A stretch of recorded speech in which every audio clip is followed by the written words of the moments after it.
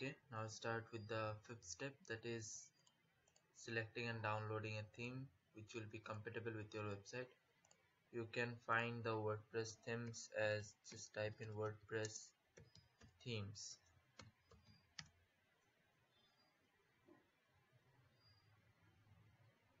And as you can see these are the free WordPress themes.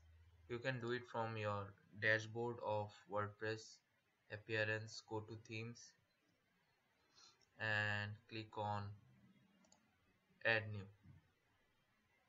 So when you click on add new many themes will be shown to you. Now let's take for an example that we want to install this thing. These are the popular themes latest. You can install any theme if you want to install theme just copy the name that is clean wp let's say i want to install clean wp as my theme. You can search it here clean wp and it will be shown. Now for the time being let's say we want to install this theme. Just click on install.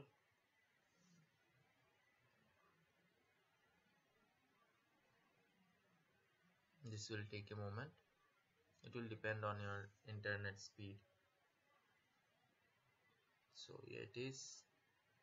You can live preview it as how the theme will look on your website or you can activate it. Let me activate it. Okay now when we go to our website and this has been changed. As you can see the theme has been changed and this is it for the theme let's say I want another theme Virtue this has been one of my favorite themes so here it is. If we install it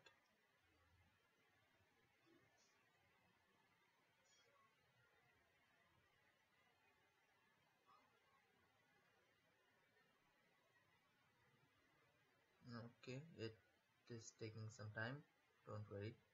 It will be done in a minute or so.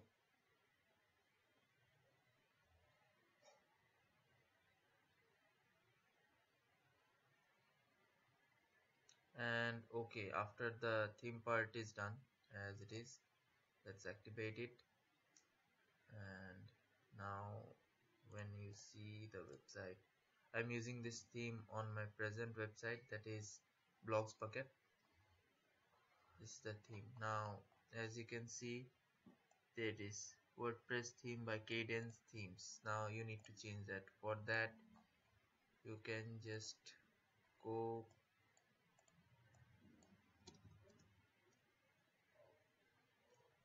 and search for WordPress in my website. In the WordPress section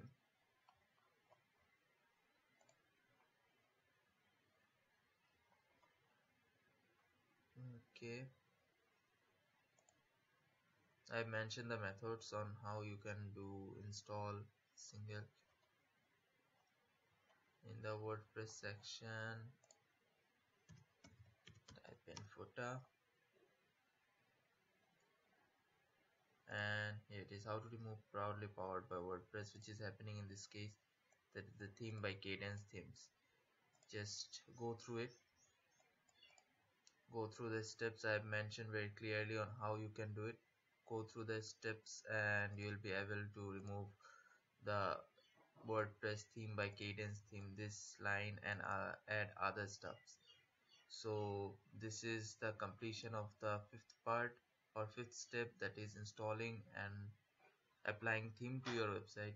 You can apply other themes. If necessary you can comment below. I will help in that section. I will try to help in that section. And now let's go to the sixth step and one of the most important step that is installing plugin in your website